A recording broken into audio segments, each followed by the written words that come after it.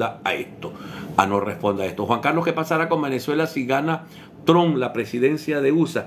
Bueno, yo creo que va a ser muy difícil que Trump desmonte lo que ya ha hecho Biden. Eh, va a ser muy difícil, esta es mi opinión.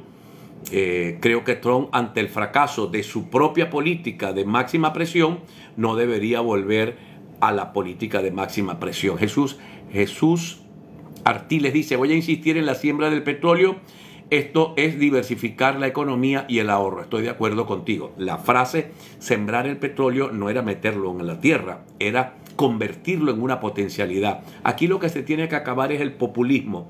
Ciertamente, ciertamente el populismo es una cosa compleja que daña a los países, aun y cuando yo creo que no se puede abandonar a los pobres.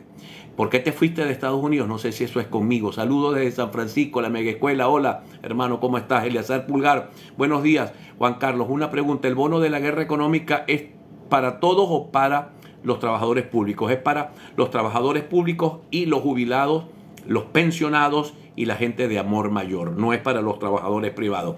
Las elecciones de Estados Unidos son en noviembre y lo más probable es que Maduro decida que sea para diciembre, dice Héctor Pirela. Bueno, esto está acordado, acordado en, en Barbados. Eh, así pues que eh, lo que no tenemos es la respuesta de lo que está pasando acá. Alguien me pregunta qué opino de Colombia.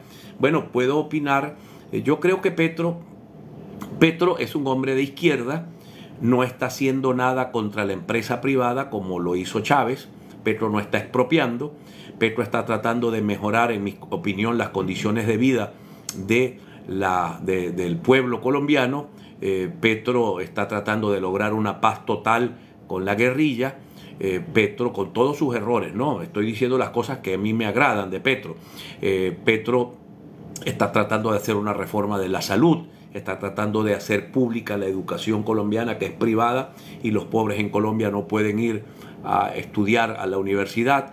Eh, ayer en Davos Petro dijo Venezuela y Guyana deberían pagarle a estos dos países para que no saquen petróleo de la zona. Él es de la teoría de descarbonizar al mundo porque el cambio climático nos está haciendo muchísimo daño. Yo creo que es muy avanzado, por lo menos en esa teoría Petro es muy avanzado, porque las empresas petroleras y los países lo que están es perforando, perforando, perforando y el señor está diciendo, ya basta, estamos contaminando, estamos quemando al planeta con el calentamiento global. Eso solamente Petro lo dice de los presidentes del mundo, el único que lo dice es Petro. Eh, a los pensionados nos enviaron con 5 dólares, nos envainaron. Sí, dice Jojota. Sagitario, Estados Unidos negociando con Maduro por intereses petroleros y los opositores frustrados, molestos, y se ríe. Bueno, eh, me dice feliz cumpleaños al alcalde. ¿Cuál alcalde cumpleaños? ¿Cuál alcalde cumpleaños no me terminaste de decir cuál alcalde cumpleaños? A ver, la apertura de los puentes devolvió la dignidad a los dos pueblos, eh, dice Destino eh, Final. Bueno, devolvió la actividad económica a la frontera que estaba totalmente empobrecida. Carlos Martínez, el gobierno solo debe ayudar a los pensionados y discapacitados, los demás a trabajar y a producir, y a los niños, ¿no? En situación. Petro dice eso, pero no se baja del avión que funciona con gasolina.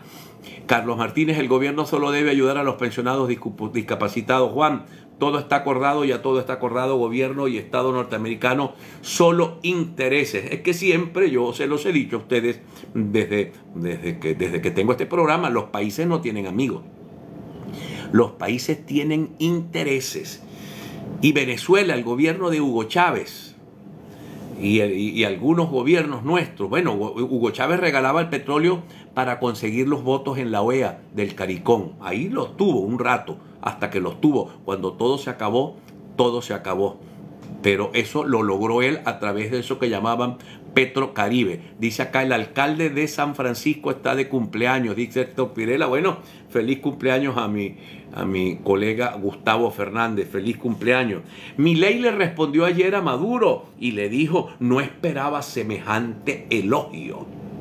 Por cierto, Maduro en ese, eh, en ese programa, en, la, en la Asamblea Nacional, perdón, en la memoria y cuenta, le dijo al presidente ecuatoriano Novoa que él podía ayudarlo con el tema de las cárceles, porque él es sumamente exitoso